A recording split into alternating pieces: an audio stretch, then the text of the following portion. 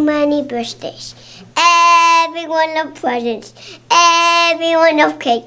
But having birthdays every day will be a big mistake. He will get so big around from eating lots of sweets. It will be impossible to get out of our seat.